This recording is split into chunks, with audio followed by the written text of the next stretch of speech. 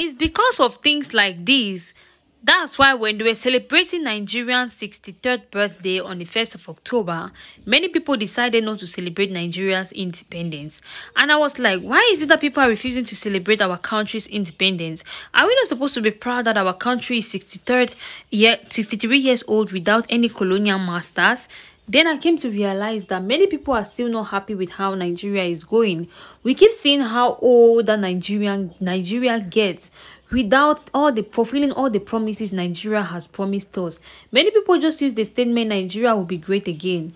But are we assured that Nigeria will be great again? Nigeria has failed so many people that I can't even talk about. Like yeah, you know you can't even explain everything.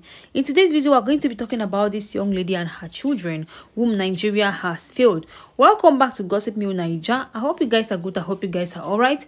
Please kindly hit the subscribe button if you haven't yet done so.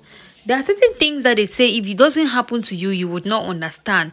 There are things you can only understand until they happen to you. But you see this particular thing, I don't wish it to happen to anybody. I don't wish it to happen to anybody because, guys, the moment you understand that, the moment you begin to realize how real life is, is when your close people or your loved ones start passing on. That's something you will never get over. In today's video, we're going to be talking about this young lady who is uh, married or who was married to this young looking handsome man whom you can see right now on the screen side by side. This lady had given birth to a set of twins. Yeah, happily married to the love of her life. They went to somewhere and she was like, she, she was coming back home with her husband when some guys came and took him and she was like, what do you guys want now? Some of them demanded for 10 million naira, which she succeeded in raising with her family members.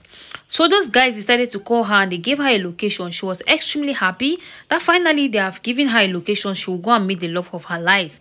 Little did she know that she will reach that area and find out that her husband passed on. Upon arriving there, she found out that those people did not only take the 10 million naira, but they decided to make her husband pass on. She was in so much disbelief. Why is this lady blaming Nigeria? She's blaming Nigeria because she felt like if the police were there to secure that area, that kind of thing would have not happened. That's the work of the police, not moving up around, up and down, looking for Yahoo guys here and there. They are there to stay in some certain areas to make sure that there's security in that area. Well, guys, what can we say?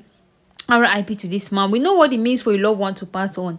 This lady would never get through it, and the worst is when her children will grow up, she'll be looking for a way to explain to them that their father passed on in such a way. At times, it's not even the fact that someone has passed on, it's the way they pass on. It's, it's you thinking about how they pass on that touches you a lot. We hope that he's resting in a better place. Please, my dear, put yourself together. May God give you the strength to move on. Well, guys, leave your RIP wishes in the comment section below. Has Nigeria failed you in any way? Please, if you have the strength, why not leave your story in the comment section below? I'm sure it will inspire and touch so many people. Stay blessed, guys, and stay tuned.